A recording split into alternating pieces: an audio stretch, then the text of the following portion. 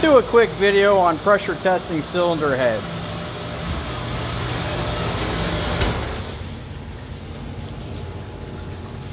So I've already pressure tested that one, it's good. I just threw it in here for another quick wash.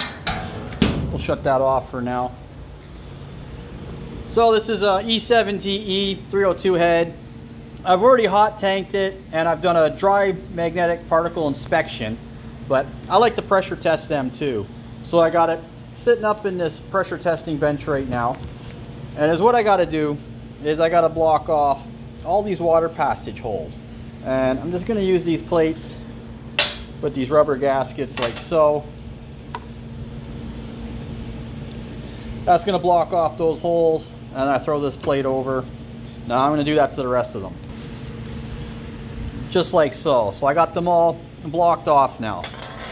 So I'll take these bars and I'll slide these all right over the bars and the cylinder head like so. And I'll come to this side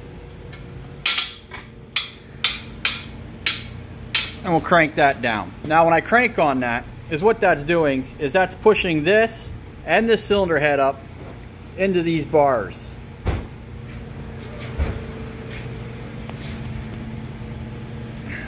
Now I got to block off these passages right here. And for those, one gets a fitting, and that's going to go there like that.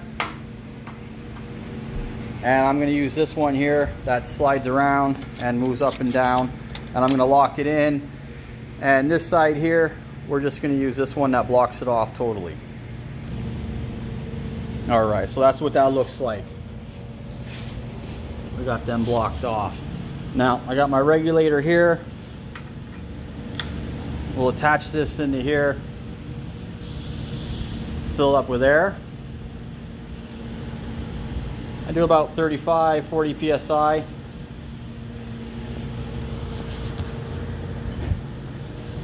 I'll come here. This is uh, soapy water. I'll spray this end here just basically looking for bubbles, like if you were testing a tube or a tire.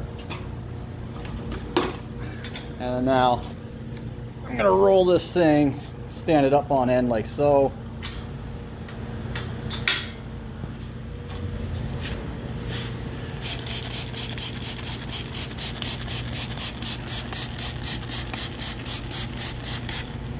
I'm gonna go around and I'm gonna get the whole thing with this soapy water mix.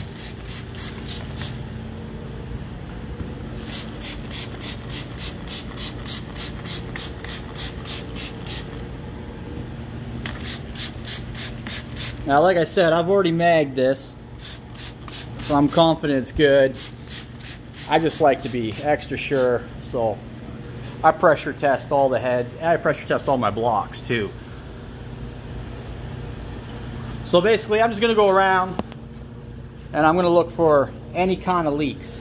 Now because we used the soapy water, it'll bubble up. So let's go fake a leak over here. So if we had a leak, I'm gonna loosen this off a little bit. So we'll break that seal.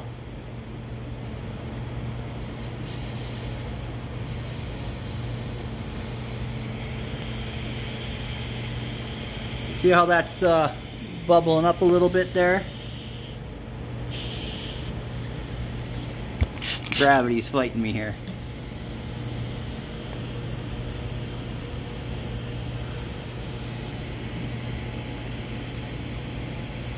See all these little bubbles? They're kind of forming up. Loosen that a little more. There we go.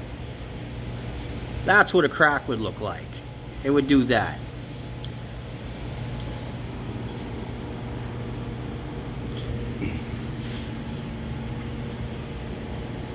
So, like I said, I'm confident that these aren't cracked. I usually find a crack with the with the particle mag.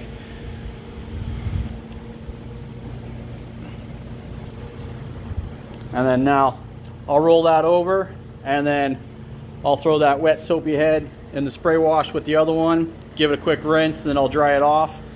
and I can commence rebuilding it. But there you goes for those uh, guys that were interested or just unsure what this was. That's a pressure test.